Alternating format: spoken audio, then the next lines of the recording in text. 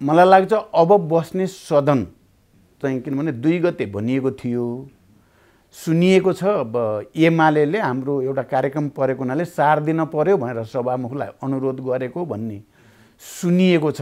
अब यो त फेरि सभामुखले सरकारले के गर्छ मैले अझै अहिले बुझेको छैन आजको कुरा बुझेको छैन।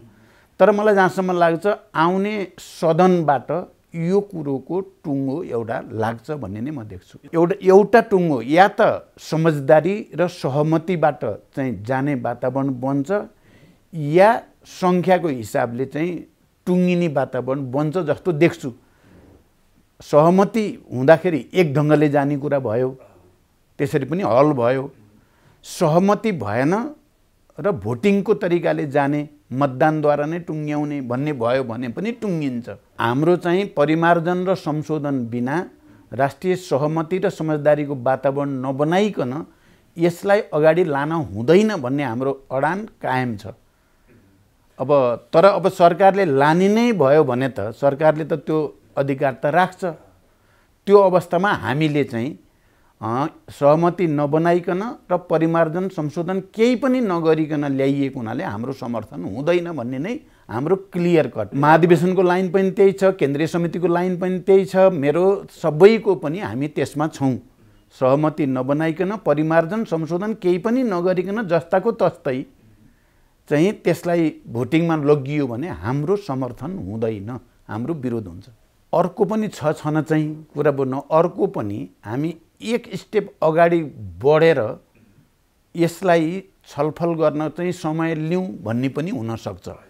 त्यस्तो पनि हुनसक्छ। म अहिले त्यो कुरालाई पनि निश्चित रूपले त भन्न सक्दिनँ तर सम अप्सन अरू पनि हुनसक्छ। तपाईँले भने जस्तो अथवा मैले जे भनिराखेको छु परिमार्जन संशोधन अथवा letter of exchange letter of clarification इत्यादिबाट केही हुने यो एउटा कुरा भयो। त्यो नहुने हो भने राष्ट्रिय सहमति गरेर हामी चुनावी प्रक्रियामा प्रवेश गरि नै सक्यौँ त्यसकारण यसलाई होल्ड गर्ने अहिले होल्ड गरेर राख्ने भन्ने दोस्रो हुनसक्छ। तेस्रो चाहिँ बिचको कुनै निकाल्ने कोसिस पनि गर्नुपर्छ भन्नेमा म छु। अहिले म चाहिँ यही हो भन्ने ठाउँमा निष्कर्षमा पुगि नसकेको हुनाले म अहिले चाहिँ त्यो डिस्कसनकै भित्रै डिस्कसनमा छ त्यो। म यति कुरा चाहिँ फेरि तपाईँ मार्फत जनतालाई भन्न चाहन्छु। म यहाँनिर अलिकति जोड म अलि बढी चिन्तित पनि छु यो यो विषयलाई लिएर। किन हामीले धेरै ठुलो सङ्घर्ष बलिदान मेहनत पछि नेपाललाई शान्ति सम्झौता हुँदै संविधान सभा सङ्घीय लोकतान्त्रिक गणतन्त्र समावेशी समानुपातिकतासम्म ल्यायौँ। र साँच्चै भन्नुहुन्छ भने राजनीतिक दलहरूको बिचमा पनि यस्तो अभूतपूर्व एकता पैदा भयो शान्ति सम्झौता पछि। सबै संविधान सभामा सबै गणतन्त्रमा सबै सङ्घीयतामा सबै समावेशी समानुपातिकतामा भयो। निर्वाचनमा पनि सबै सहभागी हुने वातावरण बन्यो। पहिला पहिला जस्तो हुन्थ्यो चाहिँ कोही प्रो मोनार्क अथवा राजा परस्त काङ्ग्रेस परस्त चाहिँ भारत परस्त चिन परस्त अम अमेरिका परस्त भन्ने र विभाजित हुने चिज यो शान्ति सम्झौता र संविधान सभाले झन्डै झन्डै मेटाइदिएको थियो। सबै नेपाल परस्त भइयो हामी र नेपाल राष्ट्रको एकताको निम्ति नेपाली जनताको हक अधिकार र समृद्धिको निम्ति हामी अब लाग्नुपर्छ भन्ने एउटा ठुलो मनोविज्ञान र मानसिकता बन्यो।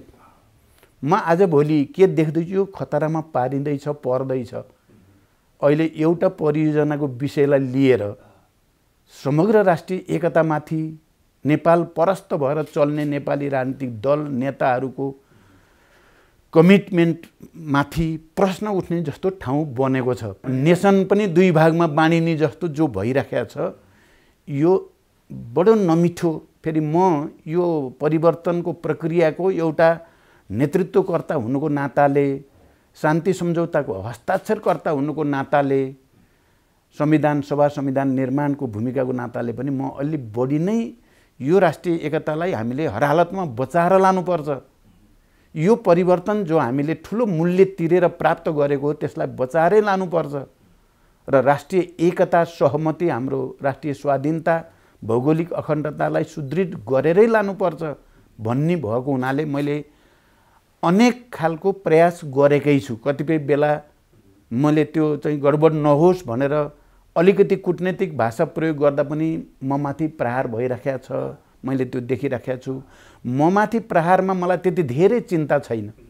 तर यो राष्ट्रको एकता सहमति प्राप्त परिवर्तन उपलब्धि धरापमा पर्ने हो कि भन्ने चिन्ता मलाई छ। अब मलाई लाग्छ यसको जुन प्रक्रियाबाट यो अगाडि गइराखेको छ मैले यो धेरै नै गम्भीर जटिल र देशको निम्ति दुर्गामी असर पर्ने खतरा चाहिँ मैले महसुस गर्छु। सामान्य छैन यो। म अहिले धेरै भन्न त चाहन्न हामी चिन र भारत जस्ता विशाल छिमेकीहरूको बिचमा छौँ। हामीले चिन र भारतको सँग राम्रो सम्बन्ध राख्नै पर्छ राख्दै आएका पनि छौँ। हामीले असंलग्न परराष्ट्र नीति भन्दै आएका छौँ त्यसलाई फलो गर्दै आएका छौँ। र अमेरिकासँग पनि पचहत्तर छिहत्तर वर्षदेखि हाम्रो सम्बन्ध छ। विभिन्न खालका आर्थिक सहयोगहरू सबै खालका भइराखेकै छन्। हामी यो कोही पनि बिग्रिन दिन चाहँदैनौँ। हामी हामी यो सम्बन्ध कसैसँग पनि नबिग्रोस् भन्ने चाहन्छौँ। एउटा मात्रै गडबड खायो भने हाम्रो भू राजनैतिक स्थितिले जे भन्न खोजेको छ नि हामी सबैसँग मिलेर जाऊ भन्नेबाट यताउता भयो भने हाम्रो राष्ट्रिय एकतामा हाम्रो नेपाली जनताको सार्वभौम सत्ता र उनीहरूको स्वतन्त्रतामाथि नै खतरा आउने म देख्छु। त्यसकारण यस्तो नहोस्। अहिले जस्तो कि एमसिसीको विषयलाई लिएर मिडियाहरूमा जसरी चर्चा हुन थालेका छन् अमेरिकाले यसो भन्यो त्यसो भन्यो आदि इत्यादि दबाब दिन थाल्यो धम्की दिन थाल्यो भन्ने कुराले म कहाँनिर चिन्तित छु भने नेपाली जनताले अमेरिका भनेको चाहिँ हाम्रो विरोधी हो भन्ने हुन नजाओस्। अमेरिकासँग पनि हामीले राम्रो सम्बन्ध गर्नुपर्छ र अमेरिकाको सहयोग पनि हामीले लिने वातावरण बनाउनु पर्छ। र हाम्रा छिमेकीसँग त हामी यसै पनि उसै पनि राम्रो सम्बन्ध बनाउनै पर्छ। योबाट हामी निर्देशित हुनुपर्ने ठाउँमा अमेरिका भन्ने बित्तिकै नेपाली जनताको मनमा चाहिँ यत्रो हामी चाहिँ गरिब एउटा देश सानो देशमाथि अलिक बढी नै दबाब भयो कि भन्ने पर्न गयो भने त्यो अमेरिकाको हितमा पनि हुँदैन नेपालको हितमा त झन् हुँदै हुँदैन।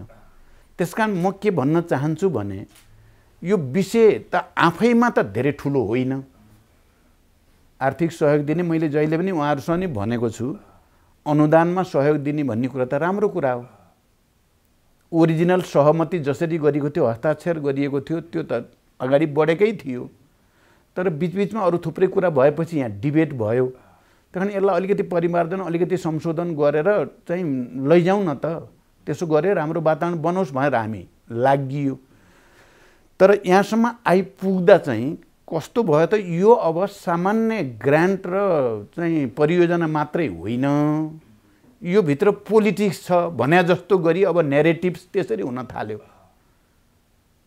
अब जस्तो कि अमेरिकन अधिकारीहरूले भन्न थालिसक्नुभयो कि तपाईँहरूले यदि यसलाई गर्नु भएन भने यो चिनको प्रभावमा परेर नगरेको ठान्छौँ र हामी यसलाई गम्भीर रूपले लिन्छौँ भनिदिएपछि त हामी नेपाली पनि गम्भीर हुनुपर्ने स्थिति त बन्यो नि त। हामी त कसैको प्रभावमा परेर हामी कसैलाई चाहिँ विरोधी बनाउनु त चाहँदैनौँ हामी। अमेरिका पनि हाम्रो मित्रकै रूपमा रहोस् नेपालको। चिन भारत पनि मित्रकै रूपमा रहन् भन्ने हाम्रो त त्यो चाहना छ। हामी कसैको प्रभावमा परेर परिमार्जन संशोधनको कुरा गरिएको पनि होइन हिजो पनि आज पनि त्यो पनि होइन। यथार्थ त त्यो होइन नि त। माग गरिराखेको नेपालको विषय हो त्यो नेपाली जनताको विषय हो नेपालका नेताहरूको विषय हो यसलाई सकारात्मक ढङ्गले हेरिदिए चाहिँ मनोविज्ञान बिग्रिँदैन थियो भन्ने मलाई लाग्छ।